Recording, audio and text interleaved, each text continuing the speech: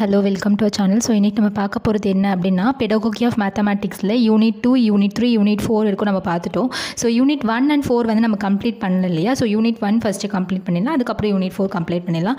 So unit five complete பண்ணிடலாம். So unit ஒனில் பொறுத்திருக்கும் என்னென்ன இம்பார்ட்டன்ட் கொஷின்ஸ் இருக்குது அப்படின்னு பார்த்தோம்னா ஃபர்ஸ்ட் வந்து aims and objectives of teaching mathematics unit one so என்னென்ன இம்பார்ட்டன்ட் கொஷின்ஸ் இருக்குது பார்த்தோம்னா first one is right the aims and objectives of a teaching mathematics and then second one is what are the values of teaching mathematics so இந்த ரெண்டு question தான் இந்த யூனிட்டில் பொறுத்த வரைக்கும் இம்பார்ட்டன்ட் கொஷின் ஸோ இந்த வீடியோ uh, இந்த கொஷினுக்கான ஆன்சர் வந்து நெக்ஸ்ட் அப்கமிங் வீடியோஸில் நான் அப்லோட் பண்ணுறேன் so keep on supporting me thank you